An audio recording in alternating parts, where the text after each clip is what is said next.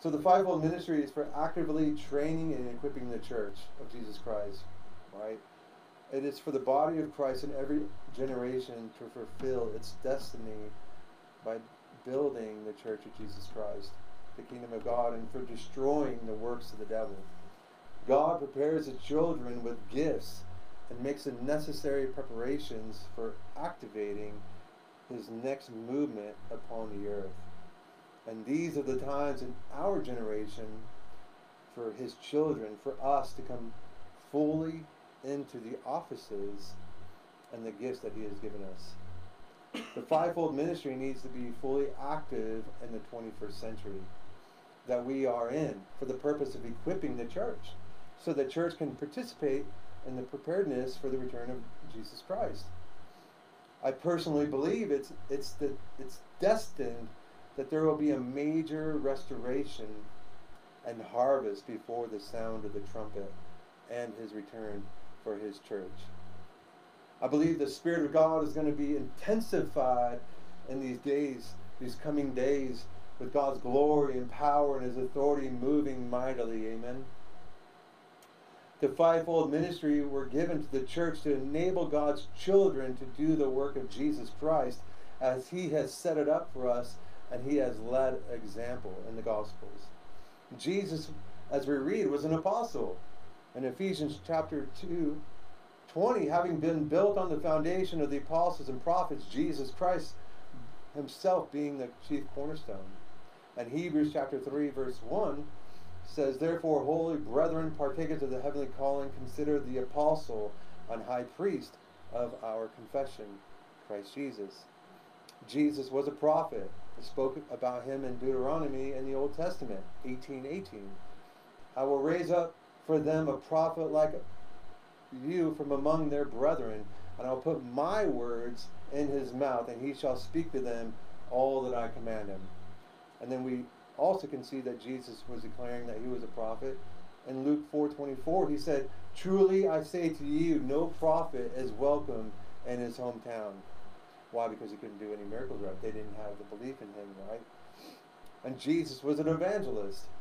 In Matthew 4:23, we, we see Jesus went, went about all Galilee, teaching in their synagogues, preaching the gospel of the kingdom, and healing all kinds of sickness and all kinds of diseases among the people. And Jesus also was a pastor.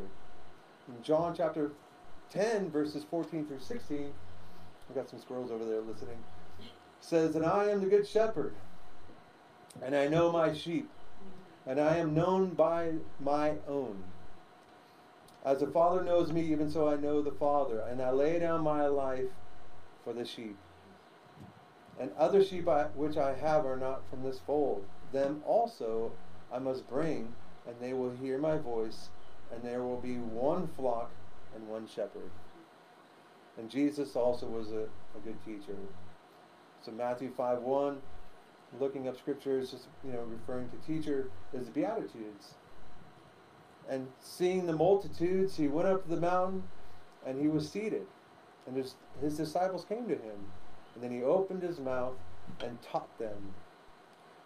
So Jesus walked in perfection in all five ministries.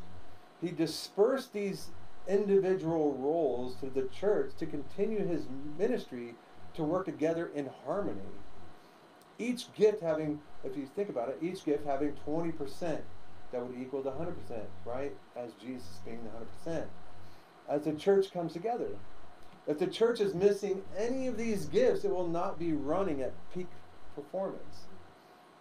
And we can't on our own obtain the fullness of Christ in the fivefold ministry. It is by the body of Christ that it is obtained, right? We can't do it on our own. We all need each other.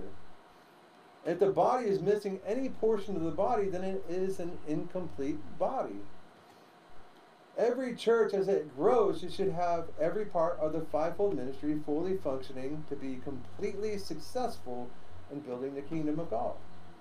The main scripture that we get this concept for the fivefold ministry, as we know, is in Ephesians chapter 4, verses 11 through 13. And he himself gave some to be apostles, some prophets, some evangelists, some pastors and teachers, for the equipping of the saints for the work of the ministry for the edifying the body of Christ until we all come to the unity of faith and the knowledge of the Son of God, to a perfect man, to the measure of the stature of the fullness of Christ. We haven't come to completion in the fullness of Christ, have we? So we know that this is still functioning and fully active as the days we live in. So the fivefold ministry is to bring the church into the fullness of, of the Lord Jesus Christ. The, and one of the things that you can represent this is the, the fingers of the hand symbolically represent the fivefold ministry that God has set up within the church. And I was just I was just thinking that God holds us in the palm of his hand. So as God has set us up, it is not for anyone to dispute or to deem what offices out of the five are effective or not. What God has put in place for the edification and for the success of his church is for a reason. And he has and he is God and we are not. So if his word, the Bible says there's a fivefold ministry, then that is what is true. And if we don't believe that, then we need to change our direction and actually adhere to the Bible, right? So his word, the Bible says that there's fivefold ministry, then that is true, and it is still true today. Amen. The fivefold ministry, period. It, it, it's a fivefold ministry, period, and it is in, as throughout history, and it is in history today. All offices are actively working in the body of Christ today. Yes, there's apostles. Yes, there's prophets. Yes, there's evangelists. And yes, we know that there's pastors and teachers. Even though some have defiled certain offices, that doesn't mean that there's not a there's not people in each office seeking the Lord with all their heart and living in righteousness. Amen. Grace is a gift, and Christian grace comes direct from Christ, his triumph over Satan. His sacrifice won it. And his ascension, as he ascended, enables him to disperse it to the body. So he's God. He, he did the work. After he ascended, right, he said, I leave you. You want me to leave because I'll give you the power of the Holy Spirit, right? And so that, after he ascended, that is when he activated and gave it to us. The measure of grace is determined by our spiritual um, capacity and our faith and our need and a special mission that he will activate one of, those offices, right? So, as the hand represents a fivefold ministry, we'll come to understand what each function does as a whole. Okay, so one, the apostle, the thumb, the thumb helps all offices and enables to have a strong grip under the Lord and His Word. The apostle is called, appointed, and anointed and commissioned by the Lord to wear this mantle. The apostle is a Holy Spirit filled person devoted to a strong faith and prayer. They often risk their lives for the cause of the Lord Jesus Christ the, the apostles' task is to be a pioneer, uh, to establish churches and church related ministries, and ensure that they are founded on sincere devotion to Christ and in faith. They are builders, creating a strong foundation in Christ with wisdom and understanding. They ensure that churches stay true to the original message of the Bible the apostles' responsibilities are a God given desire to maintain the church's purity by calling a separation from sin and from ungodly beliefs, behaviors, and lifestyles in the world. They also have a persistent desire to proclaim Christ's message and to defend it against contradictions of beliefs of New Age religion, religious trends and false teachers. Now, the prophet, the pointer finger, they are pointers. They point to God. Prophets are spiritual leaders who are uniquely gifted in receiving and communicating direct revelations for, from God by, prompt, by the prompting of the Holy Spirit. The prophet is the eyes and ears of the body of Christ under the guidance of the Holy Spirit, which, see, which sees and hears what God has done is doing, and will do. The prophet's functions are to, deli- to deliver the message from God as inspired by the Holy Spirit, and in order to encourage the followers of Christ to remain faithful to their covenant relationship with Christ. They are spirit filled speakers and interpreters of the Word of God, called by God to warn, to comfort, to encourage, and to build up the, to build up God's people. They're often seers as they can see in the spirit realm. Prophets are, expo- are to expose sin about what is right by God's standards and warn of judgment to come and, and battle worldliness and spiritual complacency among God's people. A prophet can expect rejection by many in the church during times of spiritual apathy and rebellion. The character of prophet is, has concerns and desire and ability to include a passion for purity, a deep sensitivity to evil, and the ability to identify anything that opposes and defiles God and His Word. A keen understanding, of danger of false teaching, and a strong dependence upon God's Word. Also able to share God's feelings and a concern for the success of God's kingdom and his purpose. Prophets continue to be an essential part of God's purpose for the church. A church that rejects God's prophets will decline in spiritual sensitivity and, dis- and uh, discernment. It will gradually drift, drift away from the worldly with worldly passions and become compromised and abandon biblical truth. But understand a church that is, is required to discern whether uh, and test whether the prophet's message is truly from God. So prophets are important. Prophets really are important because within the church because uh, they they especially those who are walking truly with God because they hear from God. So each church should have the fivefold ministry, is because it it completes Christ, and so the pastor has a lot of ish, you know a lot of uh, things that he needs to do. An apostle has his function, so they each have their own function. A prophet is important because they are, as they're walking closely with God, they hear from God. So if there's anything that is weird or anything that's going on within the church, they can recognize it and they can uh, speak out quickly. And then that's why it's edifying the church because it's keeping the church as a whole close to God. Does that make sense? So now the evangelists. The finger in the middle, the longest finger. They're, they are the ones that go to the furthest to reach the lost. Evangelists are godly ministers like Philip in Acts chapter 8. They are gifted and anointed and commissioned by God, by the Holy Spirit, empowered, knowing and walking the authority of Christ to bring healing and deliverance of demons to people and set them free. They walk in authority as Mark chapter 16, 16 through 17 Signs will follow those who believe in my name. They will cast out demons. They will speak with new tongues. They will take up serpents. And if they drink anything deadly, it will by no means hurt them. They will lay hands on the sick and they will recover. They understand spiritual warfare as they go as they are going into the dark places to bring light, the light of Jesus Christ. They help to establish new ministries and Christian organizations in cities and countries as God leads to awaken people properly to faith and redemption through Jesus Christ. The evangelist is essential to God's purpose for the church to help the growth of any and all churches around the world. Any church that fails to support an evangelist will bring fewer people to Christ. It will become spiritually stagnant and lacking any growth and effective outreach. The church that values the gift of evangelists will maintain an intense love for the lost. Those who do not yet know Christ, the church having great power and effectiveness in the message of salvation. The evangelist has a special anointing to reach the lost.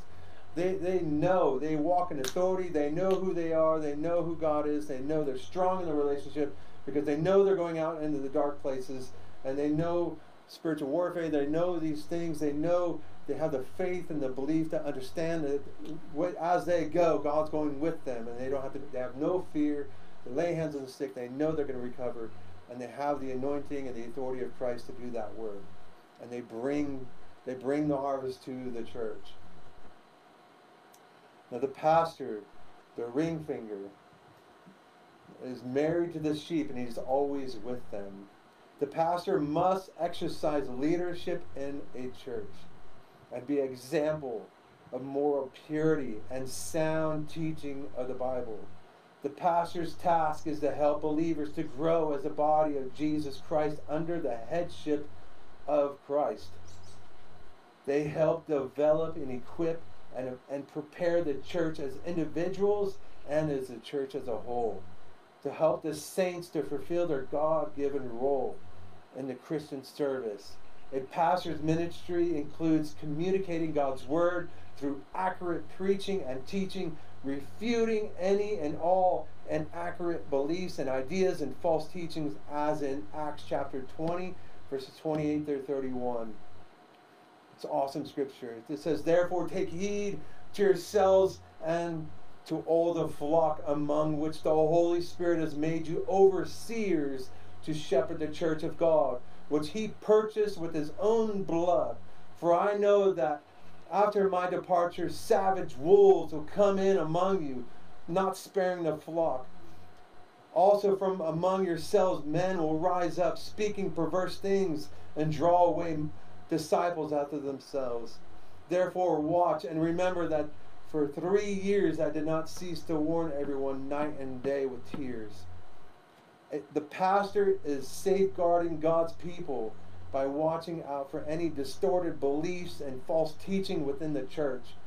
Pastors function as a shepherd, caring and protecting their flock, of which Jesus Christ, as the good shepherd, as the model.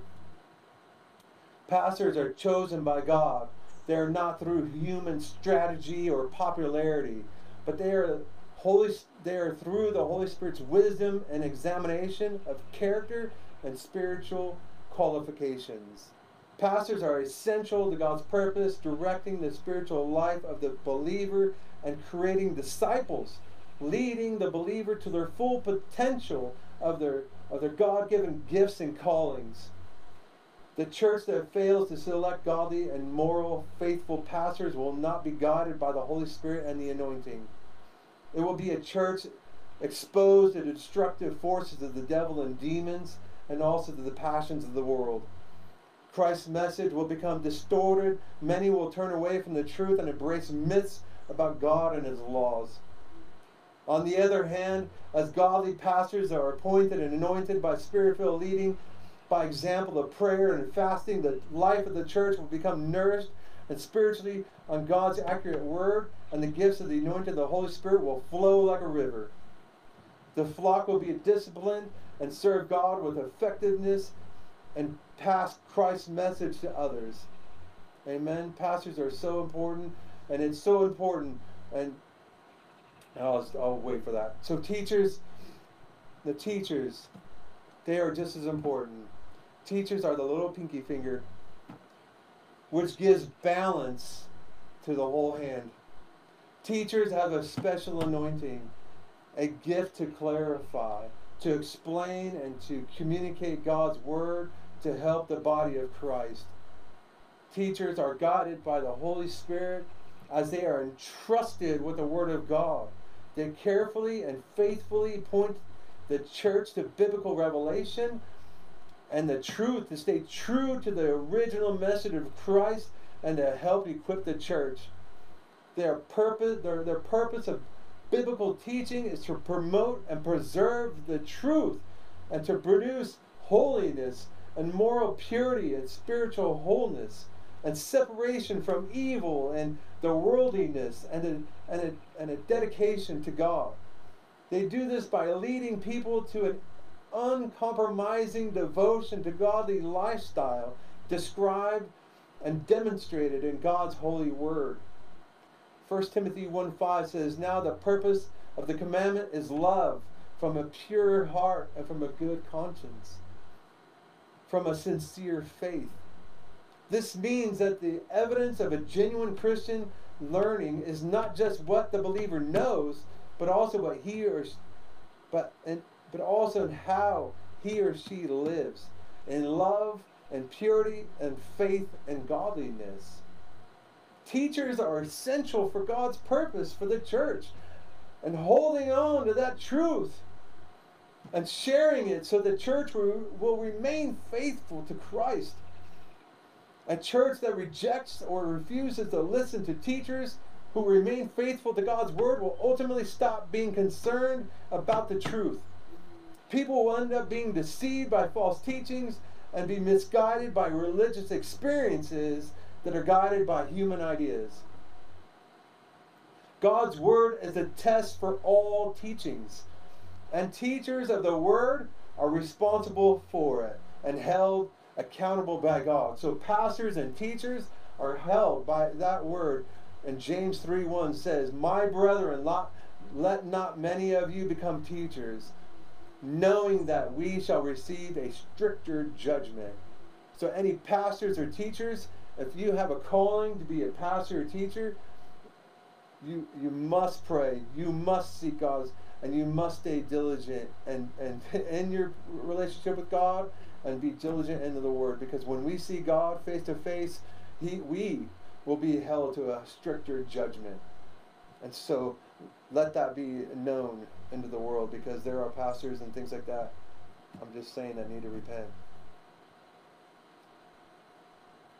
Ephesians 4 12 through 13 tells us that the purpose of the fivefold ministry is for the equipping and the preparing of the church for the service or work of Christ.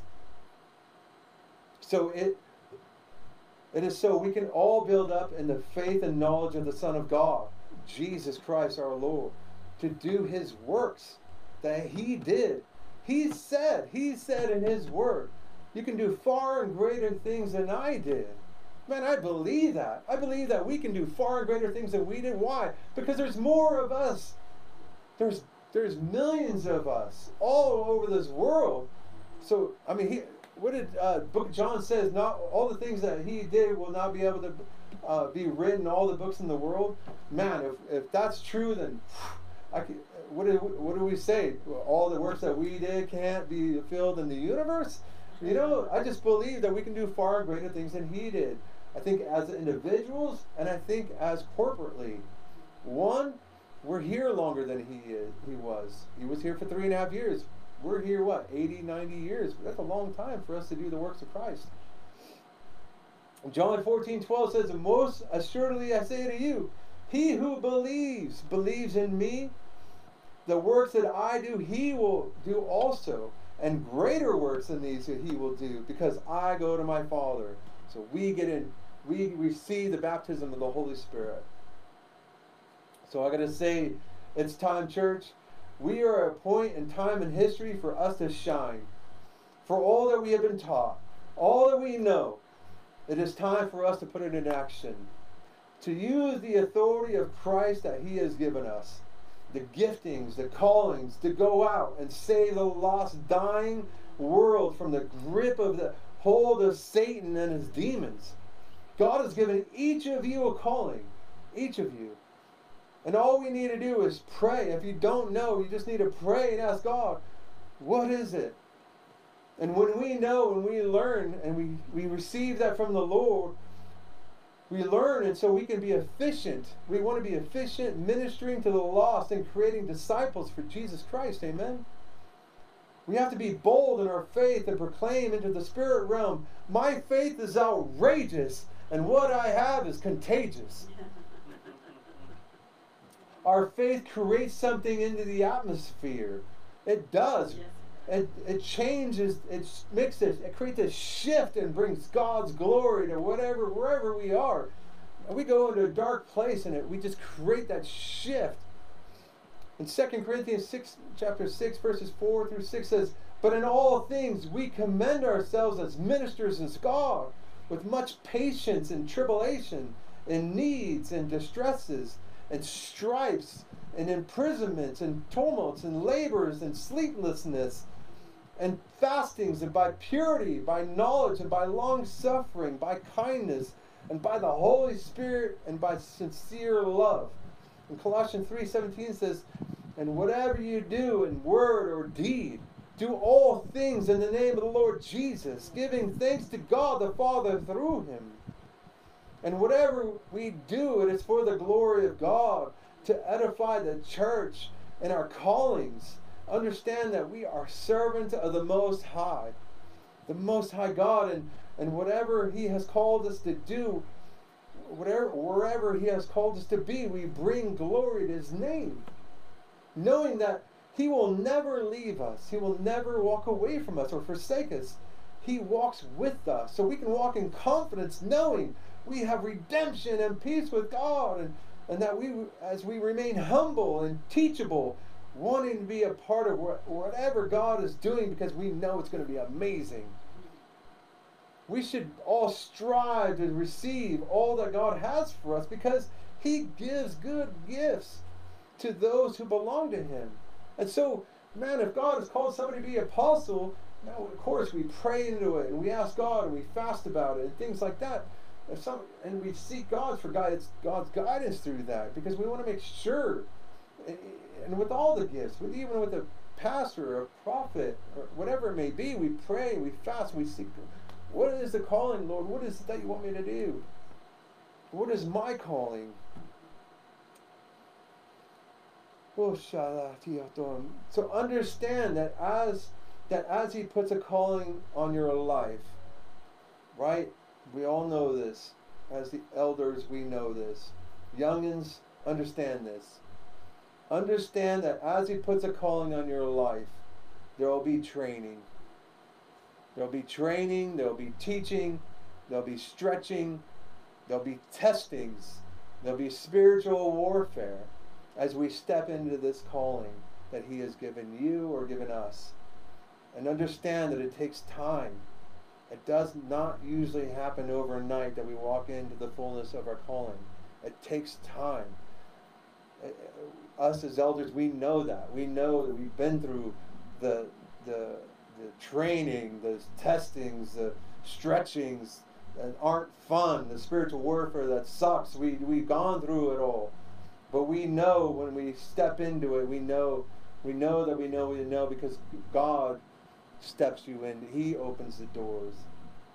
So we just have to understand when he when he puts a calling on your life, it just takes time. So you, you but as you persevere, walking in holiness and and purity, leaning on God, as you go through all the training and equipping, you will do mighty things for the Lord. Amen. So, what part of the fivefold ministry is on your heart? What is God calling you to do? So we can pray and ask the Lord for those who do not know what that is yet. Amen. So, Lord, we just come to you, Lord. We thank you, Father. We thank you for the gifts and the callings that you put in our life. And Lord, Father, I pray, Lord, right now that those who do not know what their gifting is or what their calling is, that you would impart on them and show them and reveal to them what that is. What is it that you want them to do for your kingdom? What is it that you've designed them and created them to do? Excuse me. Are, are they to be apostles? Are they to be prophets? Are they to be evangelists? Are they to be pastor? Are they to be a teacher of your word? What is it, Lord? I pray that you, Holy Spirit, would speak to those who do not know, and that you'd give them the revelation, Lord Father, of how and why you created them, so that they could be um, successful, Lord Father, in serving you. So I just pray this in Jesus' name. So, Lord, we thank you, Father, for this day. We thank you, Lord Father, for all that you teach us and all that you reveal to us. We pray for more, Lord. We pray for uh, an outpouring of the Holy Spirit as we go through this week, Lord, as we do our own studies, Lord. I pray that you just speak to us and give us new understanding of revelation and the logos and the, and the, uh, in your word, Lord. We just thank you, Father. We pray, Lord, there be healings and deliverances as we go through this week. We pray, Lord, that each one of us, Lord, that you put somebody in our path, Lord, that we can minister to. You. Lord Father, we love you. We praise you. I just pray the blood of Jesus over each of you. The hedge protection of the blood of Jesus be upon you. May you flourish in the gifts that God has given you. We thank you, Lord. We thank you, Jesus. So may the Lord bless you. May the Lord keep you. May the Lord's face shine upon you and be gracious to you and give you everlasting peace. In Jesus' mighty name we pray. Amen.